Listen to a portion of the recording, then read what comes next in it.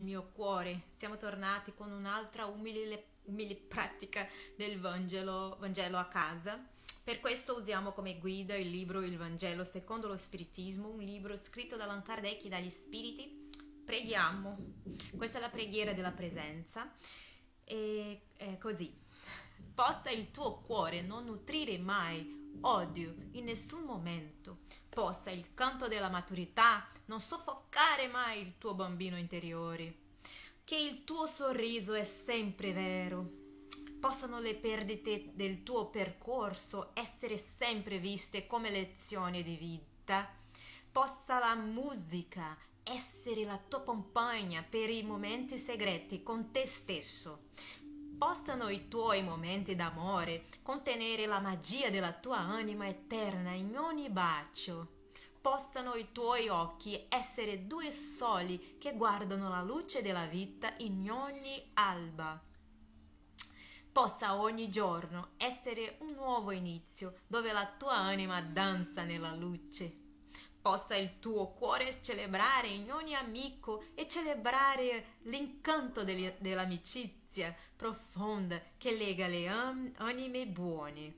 Possa nei tuoi momenti di solitudine e di fatica il ricordo che tutto passa e cambia quando l'anima è grande e generosa sia sempre presente nel tuo cuore.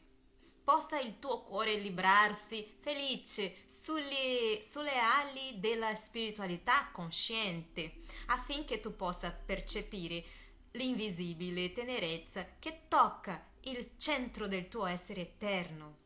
Possa una dolce tregua accompagnarti sulla terra o nello spazio e ovunque il tuo bellissimo spirito porti la tua vita.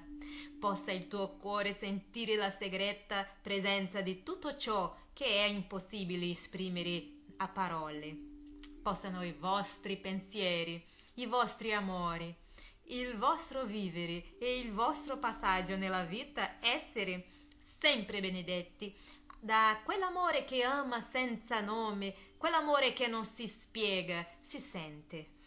Possa questo amore essere il tuo conforto segreto, viaggiando eternamente nel centro del tuo essere possa questo amore trasformare i tuoi drammi in luce, i tuoi dolori in festa e i tuoi passi stanchi in passi gioiosi di danza rinnovatrice.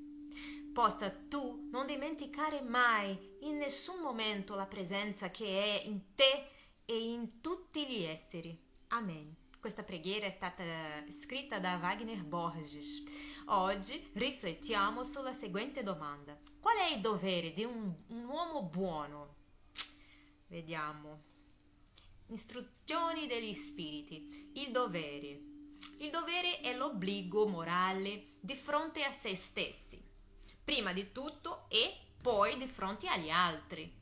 Il dovere è la legge della vita, ne regola i più minuti particolari, come le azioni più alte. Ma qui non intendo parlare che del dovere morale e non di quello che è imposto dalle professioni. Nell'ordine dei sentimenti, il dovere è difficilissimo ad, ad adempiere perché spesso è in antagonismo con le seduzioni dell'interesse e del cuore le sue vittorie non hanno testi- testimoni e, te, sue, e le sue disfatte non trovano repressione. Il dovere intimo dell'uomo è abbandonato al suo libero arbitrio. Il pungolo della sua coscienza, questa guardiana della probità interiore, lo avverte e lo sostiene, ma sovente è, impo- è impotente di fronte ai sofismi della passione. Il dovere del sentimento, osservato con fedeltà, innalza lo spirito umano, ma come si può precisare questo dovere? Dove comincia? Dove finisce?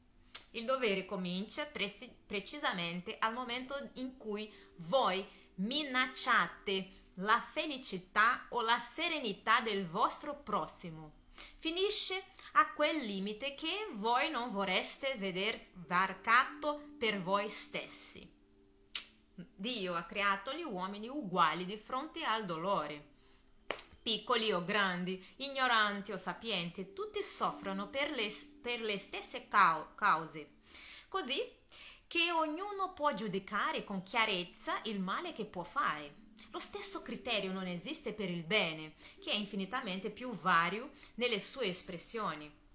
L'uguaglianza di fronte al dolore è una delle sublimi forme di preve- preveggenza di Dio che vuole che i suoi figli, istruiti dalla comune esperienza, non commettano il male scusandosi con l'ignoranza dei suoi effetti. Il dovere è la pratica sintesi di tutte le speculazioni morali. È un eroismo dell'anima che affronta le angosce della lotta. Eh, le angosce della lotta. È in pari tempo severo e docile, pronto ad arrendersi di fronte a varie complicazioni e inflessibili di fronte alle loro tentazioni. L'uomo che compie il suo dovere ama Dio più che le creature e le creature più che se stesso. È di volta in volta giudice e schiavo della sua stessa causa. Il dovere è la gemma più bella della, della ragione, nasce da essa come il figlio nasce da, dalla madre. L'uomo deve amare il dovere non perché preserva dai mali della vita, ai quali l'umanità non si può sottrarre, ma perché apporta all'anima il vigore necessario al suo sviluppo il dovere si accresce ed irradia sotto una forma sempre più elevata in ciascuna delle tappe superiori dell'umanità.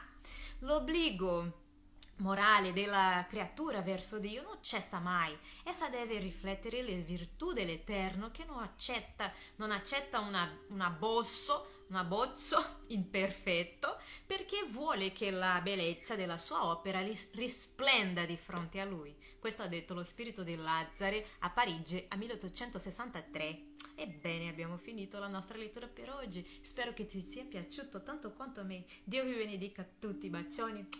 Ciao.